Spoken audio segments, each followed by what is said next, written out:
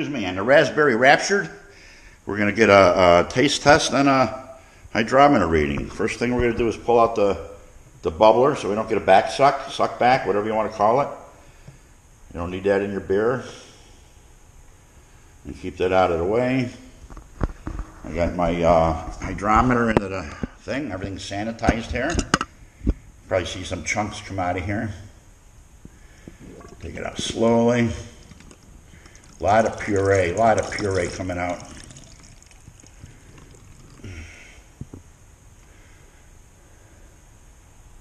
A lot of puree. All right, we're going to get this up here. And we'll let it sit a minute. Sit a minute. and if it looks like we're close enough in the range here, well, looks like we're going to be, uh, oh man, my back hurts. 10, I don't know. Always comes out sweet. We'll get back to you on that, but we're going to the keg. It's been uh, 15 days. All right, the raspberry raptured. We made a raspberry rapture and a raspberry raptured.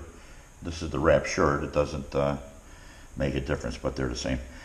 Uh, we come in at 1.052 minus our finishing gravity was 1.010 and times 131.25 equals gives us an alcohol content of 5.5125. So we'll write that down. 5.51. I guessed at 5.25, but it's 5.51. So we're going to go to the kegging. You got the keg and the sanitizer right here. We wash it out with a cleaner, then we, we put the sanitizer in there. We let it sit for a few minutes. We'll dump that out. We'll uh, our transfer hoses in here, sanitizing yet. Our cover, our cap, everything in there that we need. And we'll probably spray the spray the fitting down here again for shits and giggles, but I like to keep it clean. So, off the keg in here in a few minutes. Oh, actually, we better get a taste test on this. This is really thick with puree. So, this is going to taste pretty strong. the puree sit at the bottom of the kettle.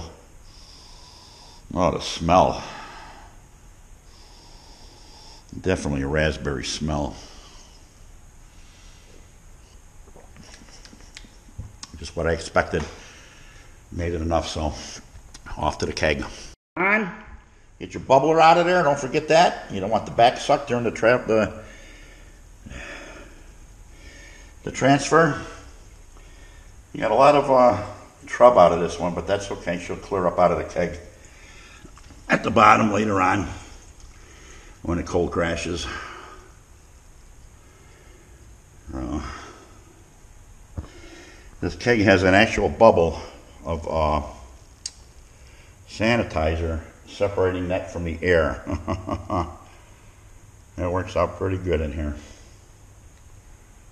So yeah, the Raspberry Raptured is being transferred and it's going to be in our belly about a, I don't know, depends how I, I go. I still got the, I still got the uh, one my daughter had me made there. And never remember the name of my own freaking beers here. It was the uh, the Velvet Crush Bloody Summer. That's still in the kegerator. We're enjoying that as the summer tinks along. It's just moving along very slowly here. Cloudy days every day, rain every day. Mm. Wow, going to be a good beer.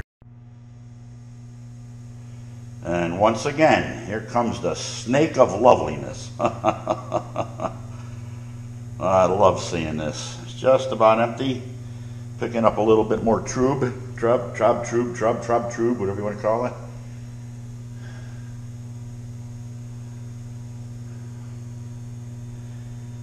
Just about empty. Here she goes. She picked up a little piece of yeast.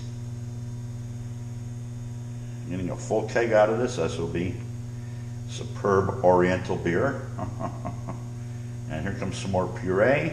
I think we'll shut her down. Crushed Velvet Bloody Summer. is in the kegerator there on tap. And we're putting a, a raptured raspberry in now. Getting rid of the seal or the air space, a little bit of air space. Plenty. That's done. Shut off our yellow line. Turn on our red line. I'm sorry. Turn on our white line. It's going to be the delivery. Looks like it was on all this time. I don't like that, but gonna rock this keg into place and uh, I'll be drinking this shortly. Check for leaks first. I don't see any. Uh,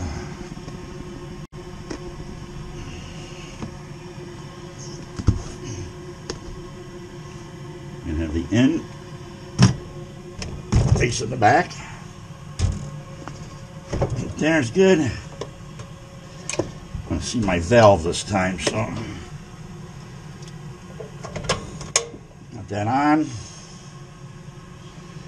And we're gonna shut the yellow one off because I don't need that now. The yellow's off, white and red are on. Oh shit, what was that? Crammed it. Jam crammed it. But there we go. Now we got to brew again. Next brew is another blood orange. Go figure.